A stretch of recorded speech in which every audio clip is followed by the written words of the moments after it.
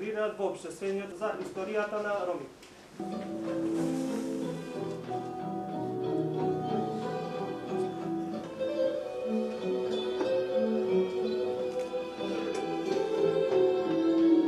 Дозволете ми на почетокот да ви го честитам Рамазанскиот пост со прифатени молитви и со опростени гревови. Дозволете ми исто така да ви го честитам и 8 април, светскиот ден на ромите, со желба да, прославу, да прославуваме уште многу години. Почитувани присутни, да се, да се подсетиме на минатото, кој има големо значење за нашата историја уште во 1971 година. Во Париз беше усвоен знаме, химна и правото на ромската заедница со сите останати заедници ширум светот. На тој значаен конгрес се многу доби денес ромите се запишани во уставот на Република Македонија. 8 април е моментот кога треба да ги тргнеме сите бариери и сите наши заеднички сограѓани да помогнеме за поголема интеграција на ромската заедница. Денес сакам да се заблагодарам на ромскиот теснав, која ми ја даде, која се изборивме заедничко заеднички да се подсетиме на една година од поставувањето на на, трај, на трајното поставување на ромското знаме во општината. Исто така, денес сакам да истакнам дека од денес ќе се потрудиме заеднички со администрација со правната администрација во општина Гостива да го започнеме прашањето за официализирање на ромскиот јазик во основното и средното образование во Гостивар Исто така, уште еднаш, сакам да ви се заблагодарам на сите присутни што издвоивте време за денес да го прославиме заеднички нашиот празник 8 април, Светскиот ден на ромите. Ви благодарам уште еднаш. Почитувани присутни, само народ кој има храброст да се соочи со минатото, има сили да ја гради собствената иднина. Денес е еден од најважните денови од историјата на ромите во светот ден на создавањето на идентитетот на ромите, кој на Конгресот во 71 година сме запишани како РОМИ, Роми. На Конгресот за председател бир избран Слободан Берберски. Судбината на ромите во тоа време и трнливиот пат што го оделе по тешките раскрсници ни светот, не се разликува многу од она што денес ние како роми сме го доживеале или го доживуваме во Македонија. Јас сум длабоко убеден дека и во тоа време и секаде низ светот нашите браќа роми се бореле исто како и ние сега. Без такво ливно делување, ние денеска немаше да го имаме ова што сега го имаме. Почитувани присутни, денешниот празник е празник кој со сета своја символика и значење, со сета своја тежина и траење, представува датум пред кој треба да застанеме секој секој оној кој си ја сака ромската нација, како нација која е издигната на плеките на незините предци, како нација која останува за навек, за идните потомци, затоа што без Конгресот во 71 година немаше да постојат ромите.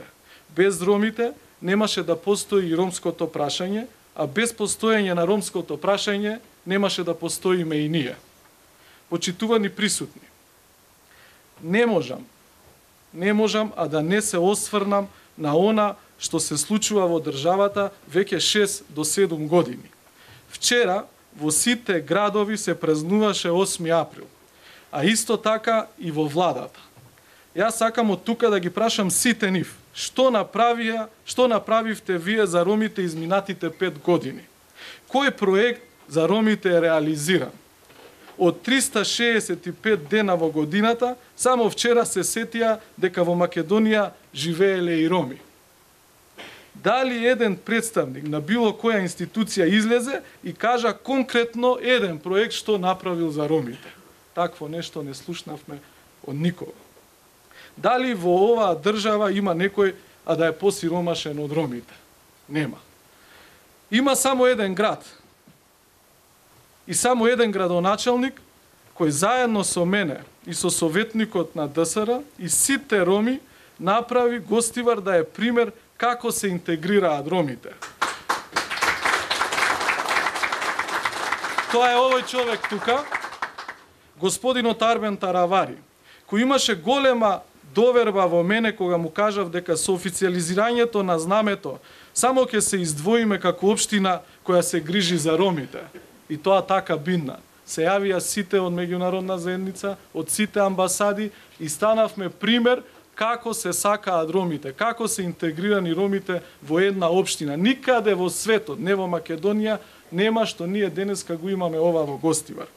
Во оваа прилика, јас искрено се надевам дека од страна на советникот, како што кажа, ќе биде предложено во Советот за наредниот 8 април ромскиот јазик да биде во официјална употреба во општина Гостивар, бидејќи човекот е богат со тоа колку пријатели има и колку јазици позна.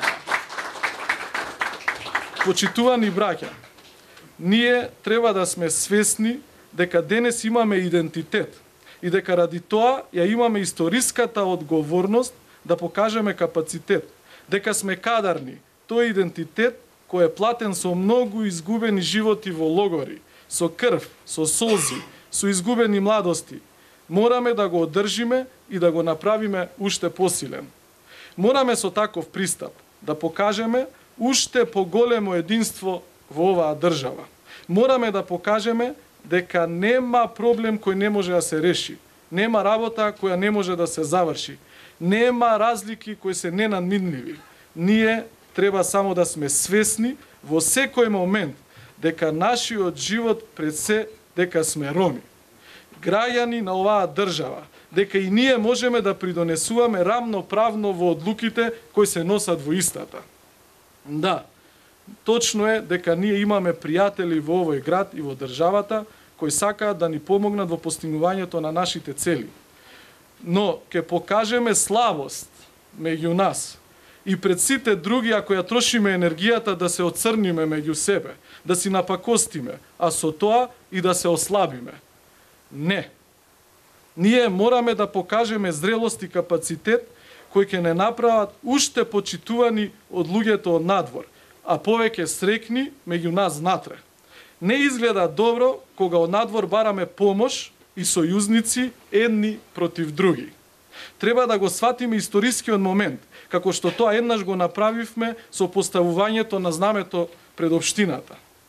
Дека ние, ради тоа, ќе бидеме гледани од нашите наследници, од нашите деца, не како поединци или како група, него како една цела генерација роми која се борела за официализирање на ромското знаме. Како дел од политичкиот живот, кој во два наврата ја добив поддршката од вас, за што многу сум ви благодарен, но и по цена на мојата кариера политичка. Нема да дозволам расцепување на ромите и нема да дозволам одредени појави да ги загрозат правците и обстанокот на нашата заедница. Од предизвиците се плашат слабите, а храбрите со гордост и чест им пристапуваат и ги решаваат. Нема запирање, ромите мора да го имаат местото кое си го заслужуваат. Тоа го покажуваат и сите извештаи на Европската комисија. Ако Македонија и било која влада сака да споделува европски вредности, интеграцијата на ромите треба да се решава паралелно како и владењето на правото и борбата против организираниот криминал и корупција.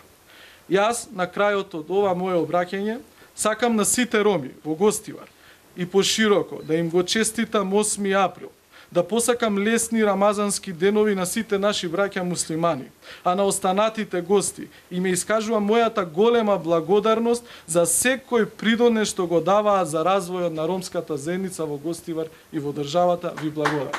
Прво да ви кажам среќен празник.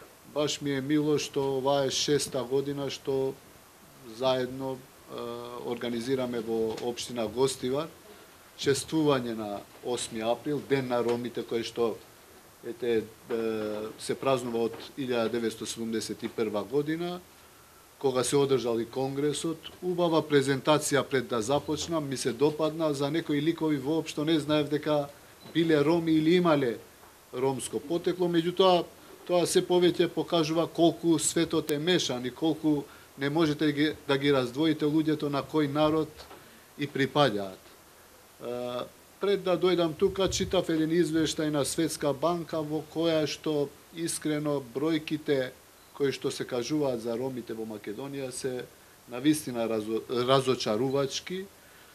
Пред се во правец на тоа колку се интегрирани, колку се невработени, колку се маргинализирани од општеството, колку не се образовани и за сето тоа не сте криви вие како наши сограѓани, туку ние кои што креираме политики, кои што сме поголеми во оваа општество.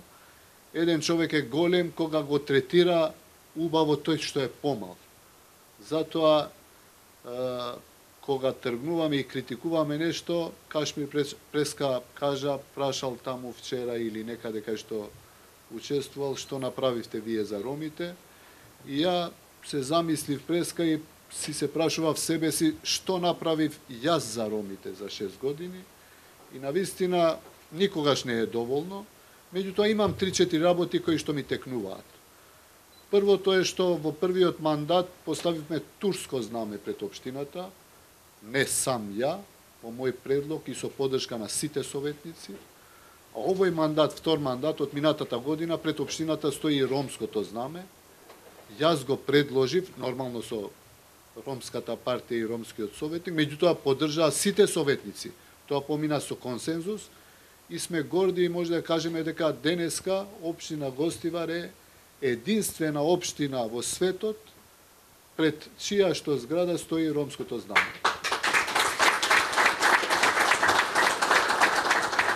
Меѓутоа, нели, не е секогаш колку се користи знамето и јазикот, некогаш луѓето, обичните мои сограѓани роми ме прашуваат што направи за нас конкретно, дали направи нешто или размислуваш да направиш нешто.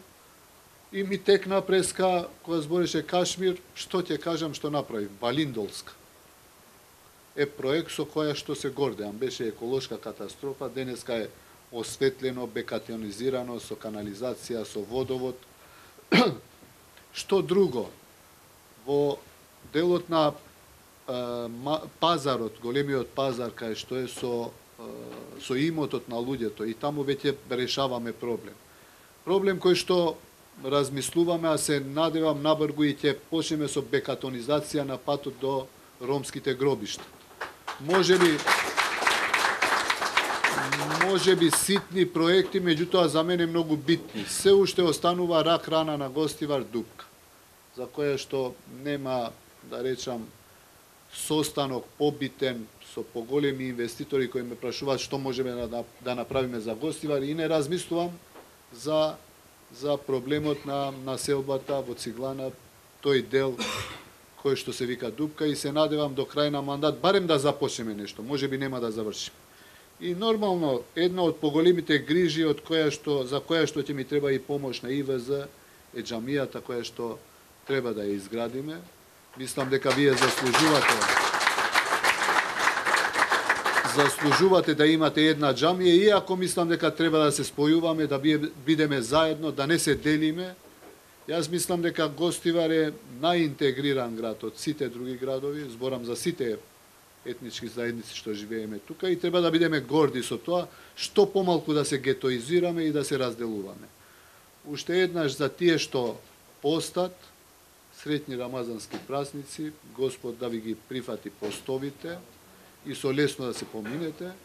Уште еднаш среќен празник 8 април, што подолго да го славите и оваа се надевам ќе остане традиција како што Јас ја наследив од господин Бейта и Руфи Османи, се надавам и идните градоначалници после мојот мандат ќе продолжат да, да ја одржуваат, може би да развијат, да ја развијат оваа традиција, а може би и да организираат што подобри што подобри да речам организации за да ромите се осетат дека се навистина третирани како што треба барем од локалната власт, ако не од централната власт. Уште еднаш ви благодарам многу што сте тука и уште еднаш сретни празници.